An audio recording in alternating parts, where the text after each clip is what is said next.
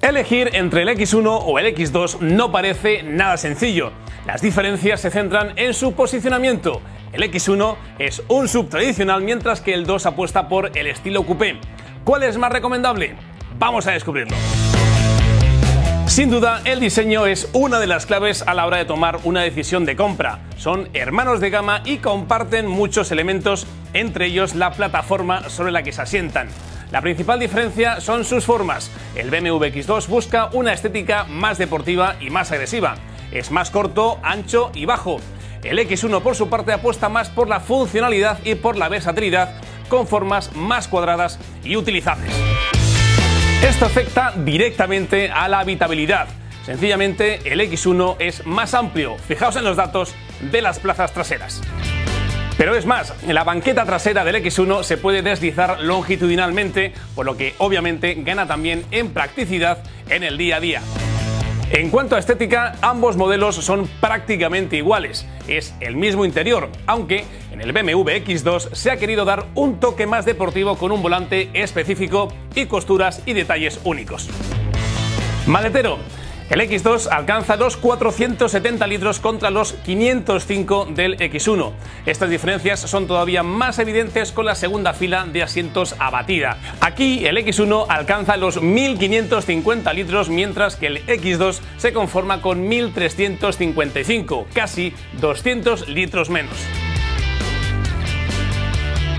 En comportamiento lo tengo clarísimo. El BMW X2 es la mejor opción si buscas un subcompacto deportivo que sea bueno sobre todo en asfalto con un comportamiento dinámico que poco o nada tiene que envidiar con el de otros integrantes del segmento compacto.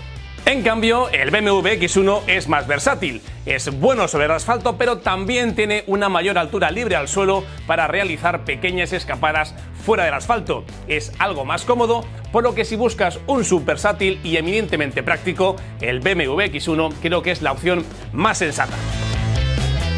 Aquí tampoco hay muchos cambios. La gama del X2 es mucho más escasa que la que encontramos en el X1. Se irán añadiendo más motores, pero de momento el X2 renuncia a las versiones más austeras que sí ofrece el X1. Solamente dispone de dos motores, el diésel de 190 caballos con tracción integral y el gasolina de 192 con tracción delantera. Más adelante llegará otro diésel de 231 caballos. El BMW X1 ofrece un abanico mucho más amplio de opciones mecánicas, tanto por abajo como por arriba.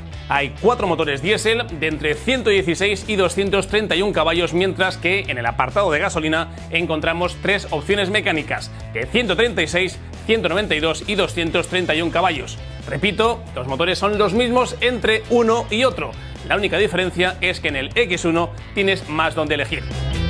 El equipamiento del BMW X1 y del X2 es prácticamente calcado, así como las opciones disponibles. Son coches con un arsenal importante tanto en términos de confort como en seguridad. Lo malo de estar en una marca premium es que hay equipamiento clave que se encuentra de manera opcional y las opciones, lo has adivinado, son bastante caras. Has acertado, el BMW X2 es más costoso que el BMW X1 y parece sensato, su imagen quiere ser más exclusiva y más atractiva. A igualdad de motores, el BMW X2 es unos 2.500 euros más caro que el BMW X1. Está claro que aquellos que buscan un sub tradicional, versátil, amplio y capaz también fuera del asfalto, elegirán el BMW X1. Si buscas un sub que tenga una imagen más potente y atractiva, con un comportamiento más deportivo sobre el asfalto, creo que el BMW X2 será tu mejor opción.